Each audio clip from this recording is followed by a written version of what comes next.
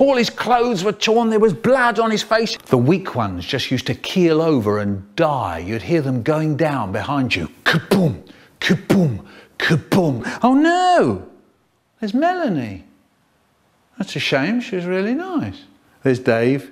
Hard luck, Dave. Always knew you were a bit weak. Oh no, the moment I dread when Dad goes from being cheery to absolutely furious. It's your skull squeezing your brains.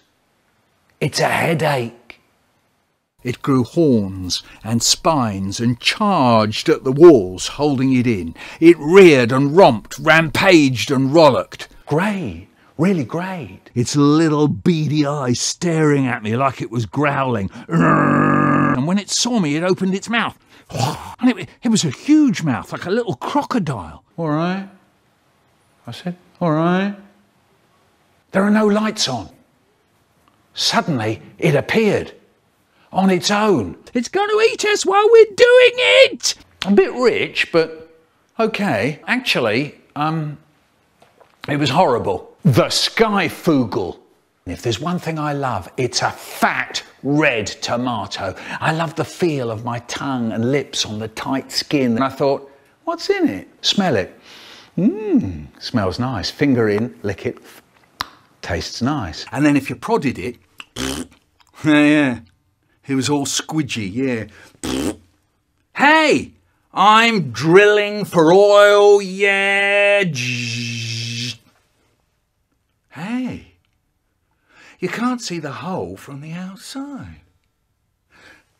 Maybe I could bury something in there. What could I bury in there? He was going to inspect her. And we were all to help her by being really good. They're like old Second World War bombers looming up towards you. Fly out of the sky at you. You walk under a tree and it dive bombs you. You have to duck out of the way or you end up with a magpie stuck in your head. Stand back, everybody.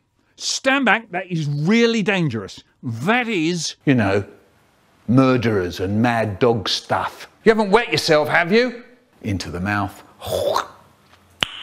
Nice. No spider any. There's a spider in the toilet, Dad! No, Dad! It's horrible! Get rid of it! It.